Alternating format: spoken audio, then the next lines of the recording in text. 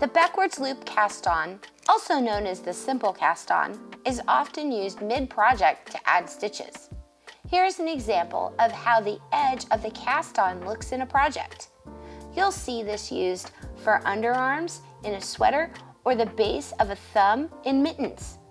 To make the backwards loop cast on, begin by wrapping the working yarn around your thumb. Slide your needle under and into the loop. Drop the yarn from your thumb and pull to tighten. Let's do that again. Wrap the working yarn around your thumb, slide your needle under and into the loop, drop the yarn from the thumb, and pull to tighten. Repeat until you have cast on all the stitches for your project.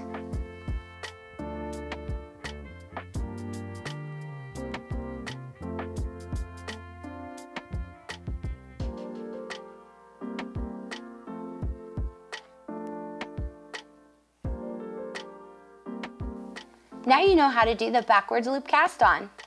For more knitting and crochet tips from One Big Happy, click subscribe below. Happy knitting!